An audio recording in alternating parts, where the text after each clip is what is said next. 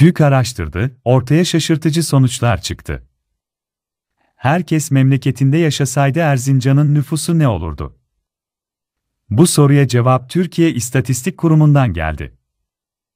TÜİ'ye kayıtlı olduğu ilçelere göre vatandaşların dağılımı yapıldı.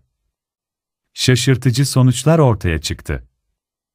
Kütü'ye göre sayım yapılsaydı Erzincan'ın en kalabalık ilçesi Refahiye, en az nüfusa sahip ilçesi ise Otlukbeli olacaktı.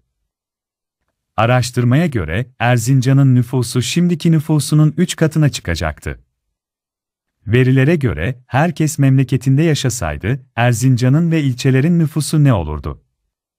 İşte rakamlar.